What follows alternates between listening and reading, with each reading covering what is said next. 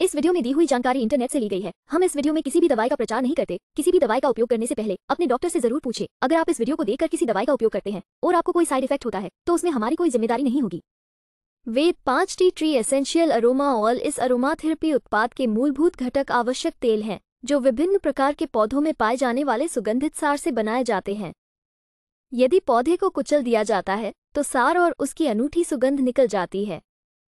वेदा पाँच tea tree oil मामूली cut, जलन, मुहासे, एथलीट फुट, हल्के फंगल नाखून संक्रमण योनि खमीर संक्रमण और फेफड़ों की समस्याओं के इलाज के लिए उपयोगी हो सकता है।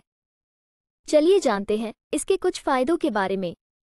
एक, यह आपके घर में कुछ बैक्टीरिया और वायरस को मारने और सत्थों को कीटाणु रहित करने में उपयोगी है। दो, ये कीड़ों को खदेड़ने में प्रभावी हो सकता है। तीन धीरे धीरे लुप्त हो जाती है और सुगंध फैलती है, जो लंबे समय तक आसपास रहती है। चार, ये त्वचा और बालों के उत्पादों के लिए सहायक है, क्योंकि इसमें हल्के सफ़ाई गुण होते हैं। वीडियो को पूरा देखने के लिए धन्यवाद। अगर आपको वीडियो अच्छी लगी हो तो वीडियो को ज़रूर लाइक करें। साथ ही हमारे चैनल को सब्सक्राइब करके, नोटिफिकेशन बेल को ऑल नोटिफिकेशन पर सेट करें।